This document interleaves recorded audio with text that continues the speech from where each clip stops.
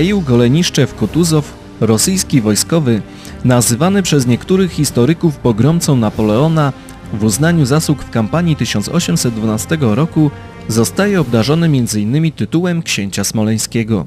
Po przejęciu jeszcze przed bitwą pod Borodino dowództwa z rąk ministra wojny Barclaya de Tolly staje się naczelnym wodzem armii. Ma ocalić Matuszkę, Rosję przed zakosami Bonapartego. Po wielkich pożarach stolicy i wielu innych niesprzyjających okolicznościach zaczyna się odwrót Francuzów. Otyły feldmarszałek, kierujący pościgiem za ustępującymi spod Moskwy oddziałami Napoleona, dziesiątkowanymi bezlitośnie także przez generała Mroza, ma wtedy grubo ponad 60 lat. Niegdyś pod Oczakowem przeżył groźny bezpośredni postrzał w głowę. Kula karabinowa przebiła mu skroń i poważnie uszkodziła oko, którego nie udało się uratować. Jednak śmierć dosięga Kutuzowa nie na polu bitwy, lecz w łożu boleści w Bolesławcu, gdzie 28 kwietnia 1813 roku zabija go tyfus.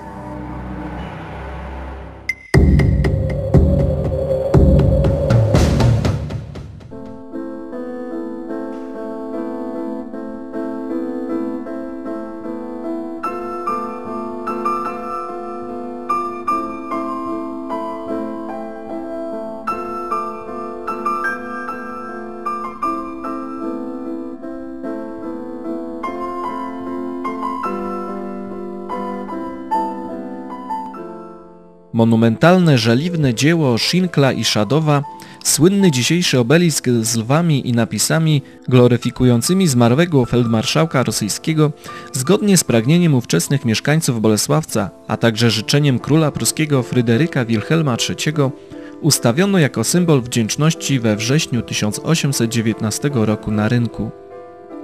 Ale jak to w życiu bywa, łaska pańska na pstrym koniu jeździ. Gdy zmianie uległy polityczne układy, zbyt nachalnie rzucający się w oczy obiekt przyjaźni przeniesiono w roku 1893 z rynku poza dawne mury obronne miasta na promenadę. Oficjalnie uzasadniono to względami komunikacyjnymi. W tym miejscu trzeba również przypomnieć, że adresat owego metalowego dowodu wdzięczności nigdy nie należał do przyjaciół Polaków. Było wręcz przeciwnie. Monument stoi pod murami do dzisiaj, stanowiąc jedynie pieczołowicie odrestaurowany zabytek historycznej przeszłości nadbobrzańskiego grodu i materialny dowód artystyczny kunsztu jego twórców.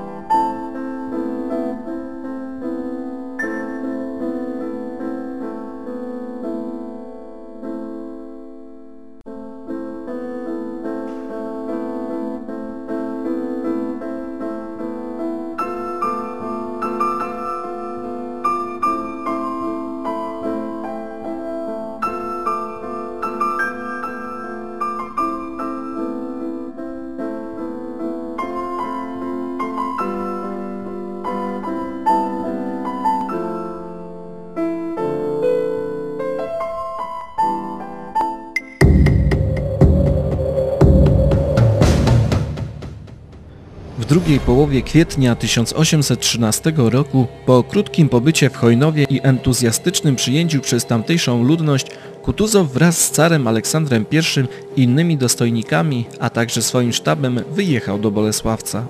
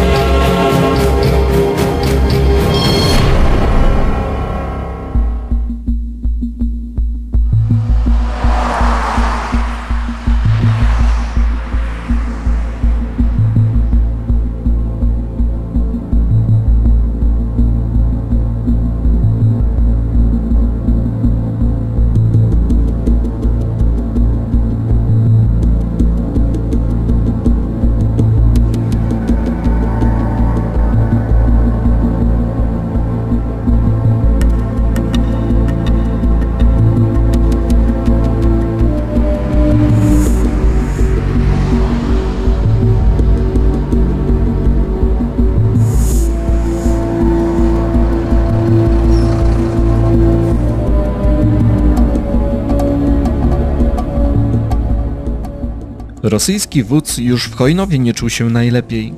W Bolesławcu w trakcie jego krótkiego pobytu, jaki zapewne planował, nie ulegając jeszcze chorobie, odprawiono mszę w obrządku prawosławnym w miejscowej szkole ewangelickiej, po czym w godzinach popołudniowych ruszono dalej w kierunku Zgorzelca.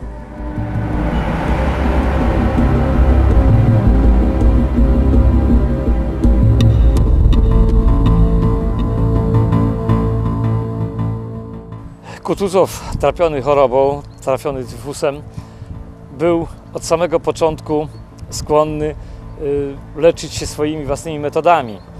Y, jak pisze doskonały znawca kampanii napoleońskiej na ziemi dolnośląskiej Mariusz Olczak, y, kiedy poczuł się źle, poprosił o to, żeby mu dano kiszonych ogórków. Oczywiście tego rodzaju zabiegi nie mogły skończyć się dobrze i wtedy, kiedy już przemieszczał się do Bolesławca, zapewne musiał odczuwać jakieś bóle. Na wysokości dawnej kaplicy świętej Anny Kutuzow poczuł się ponownie tak źle, że musiał zawrócić do miasta. Chorego i słabnącego feldmarszałka ulokowano w domu majora Fryderyka von Markt, zajmującego się handlem solą. Mimo tego, że nie chciał się na to zgodzić, uległ chorobie i wtedy mieszkańcy, którzy się dowiedzieli o, tym, o tej jego przypadłości, pokazali swoją wielkoduszność, wielkoduszność i wielkie serce dla e, feldmarszałka rosyjskiego. Wyłożenie słomą ulic w pobliżu dzisiejszego Muzeum Kutuzowa, czy jak się dzisiaj to nazywa, Muzeum Miasta Bolesławca, czy Historii Miasta Bolesławca, miało zapobiegać e, turkotaniu kół. Wiadomo, że w tym czasie wozy miały koła drewniane okute stalowymi obręczami. Powodowało to hałas. W ten sposób mieszkańcy chcieli uchronić rosyjskiego wodza przed dodatkowym stresem, przed y, jakimś takim brakiem spokoju. Mimo udzielonej przez wzywanych medyków pomocy, książę nie wracał do zdrowia. Przeciwnie, czuł się coraz gorzej. Stan wodza skrzętnie ukrywano przed armią. Leżącego już w łożu śmierci Rosjanina zdążył odwiedzić m.in. król pruski Fryderyk Wilhelm III. I wtedy też powstała swoista legenda, oczywiście nie dotycząca samego Fryderyka Wilhelma. Chodziło o cara. Otóż yy, mówiono, że do łoża konającego Kutuzowa przybył car po to, żeby uzyskać od niego przebaczenie za to, że źle odnosił się do Kutuzowa po bitwie pod Austerlitz. Była to jedna z legend, która nie znajduje potwierdzenia w żadnych dokumentach. Być może legenda piękna, ale najprawdopodobniej nieprawdziwa.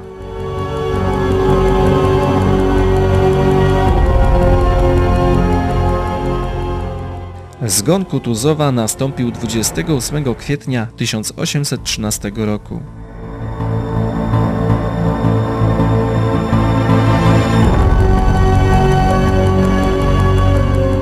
O śmierci Kutuzowa starano się w ogóle za dużo nie mówić, a zwłaszcza nie udostępniać informacji na ten temat jego armii. Mogło to spowodować e, złe nastroje wśród wojska. Trumnę mistrza Jenkego, kryjącą ciało Michaiła Goleniszczewa-Kutuzowa, pozbawione części organów wewnętrznych i utrwalone przed gniciem odpowiednimi miksturami, 9 maja 1813 roku w uroczystym kondukcie wywieziono z miasta. Długi pochód przemieszczał się uliczkami Bolesławca od miejsca śmierci aż do wylotu drogi wybiegającej w kierunku Szprotawy. Udekorowany wóz z sarkofagiem ciągnęły trzy pary koni. Za zwłokami jechała książęca karoca, dalej szli miejscowi duchowni z przybyłym specjalnie na uroczystość popem oraz strzelecka asysta honorowa. Nie zabrakło władz miasta i licznie zgromadzonych przedstawicieli społeczeństwa, w tym uczniów bolesławieckich szkół.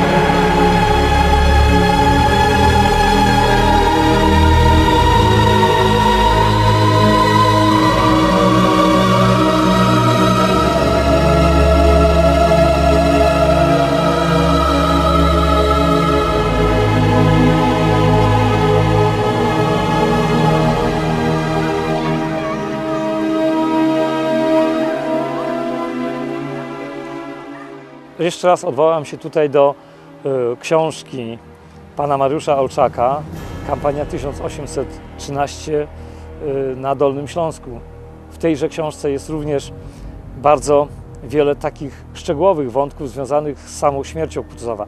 Warto zauważyć, że na pomniku w Bolesławcu jest data 17 kwietnia, tutaj z kolei jest data 16 i pod spodem 28 kwietnia. W istocie, biorąc pod uwagę nasz kalendarz, Kutuzow y, umierał 28 kwietnia 1813 roku. Y, Dla ścisłości historycznej te wszystkie daty zostały przez pana Olczaka w jego doskonałym dziele ujęte.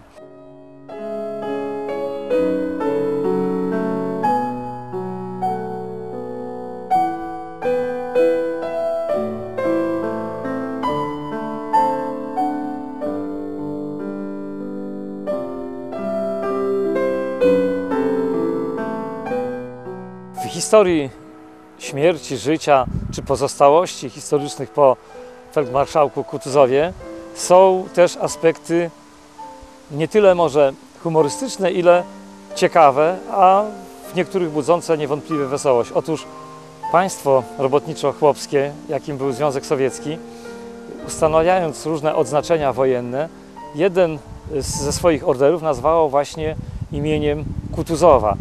I nie przeszkadzało to, że Wielki Michaił był u syłku życia obdarzony tytułem księcia, że był e, dowódcą wojsk, które gnębiły swoich żołnierzy w stopniu takim samym niemal jak wrogów, ponieważ e, dyscyplina panowała tam przerażająca. Ten order był nadawany w czasie II wojny światowej, miał kilka klas, no i jest to taka ciekawostka związana właśnie z samym Michałem Kutuzowem. Wojny toczone przez Napoleona do dzisiaj fascynują historyków wojskowości, podobnie jak i osoba samego wojowniczego Korsykanina. Nic więc dziwnego, że takie miejsca jak Borodino, Samosierra czy Waterlo dzisiaj są dla wielu ludzi celem swoistych pielgrzymek. Groźna sława Bonapartego powodowała, że ci, którzy z nim skutecznie walczyli, stawali się również jak on sławni i obsypywani tytułami i zaszczytami. Tak zajaśniała też gwiazda Michaiła Goleniszczewa-Kutuzowa.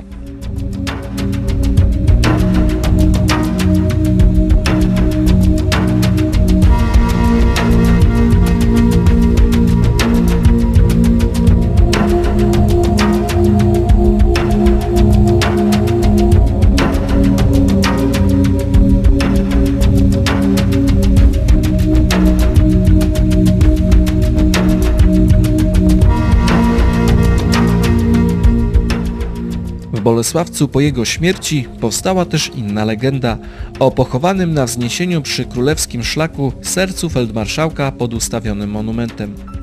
Y, wskazywano, że tu, w tym miejscu, gdzie stoi dzisiaj obelisk, przypominający o tym, że życie Kutuzowa zostało w pewnym momencie przerwane, ma to symbolizować złamana kolumna i założony na nią wieniec, że tutaj pochowano serce wodza rosyjskiego. Miał on zresztą powiedzieć, że chce, żeby jego serce zostało tam, gdzie walczył, gdzie przechodzili jego żołnierze i żeby to serce zagrzewało kolejne oddziały do jeszcze większego poświęcenia. No legenda być może i piękna, ale niewiele mająca wspólnego z prawdą, jako że wszystko wskazuje na to, że tutaj w cynowej trumience czy w skrzyni y, jakiejś zbliżonej do trumny pochowano co najwyżej trzewia wielkiego feldmarszałka, a i to nie jest pewne, czy takowe dzisiaj tam spoczywają, jako że istnieją wersje mówiące o tym, że wyjeżdżając z Polski Sowieci zabrali nie tylko wyposażenie Muzeum Kutuzowa, ale również to, co się znajdowało pod kolumną. Żadnych śladów rozbierania tego monumentu i grzebania pod nim nie ma. No, należałoby to dopiero sprawdzić, by mieć pewność, jak ta e, prawda wygląda. Ale to, że serca Kutuzowa tutaj pod tym y, obeliskiem nie ma, jest niemal całkowicie pewne. I stąd chyba należy też przypuszczać, że wersja, którą później, już po przybyciu tutaj wojsk sowieckich, starano się jakby utrwalić, może miała na celu większe zwrócenie uwagi na to, że taki rosyjski wódz, który chciałbym to jeszcze raz przypomnieć, wcale nie należał do przyjaciół Polaków, wcale nie myślał o tym, że Polacy mogą mieć y, wolność, suwerenność, że w ten sposób to jego serce miało jakby jeszcze dodawać godności i dostojności tego miejsca. A tu, przy nim, przy tym obelisku, zlokalizowano później cmentarz y, żołnierzy, bohaterów II wojny światowej, między innymi takiego znanego powszechnie sierżanta Zajcewa, który miał zasłonić otwór bunkra swoim ciałem po to, żeby udostępnić swoim towarzyszom e, możliwość atakowania położonych za nim rubieży niemieckiej obrony. Natomiast tajemnica losów Trzewi i Cynowej Trumienki pozostaje ciągle niewyjaśniona.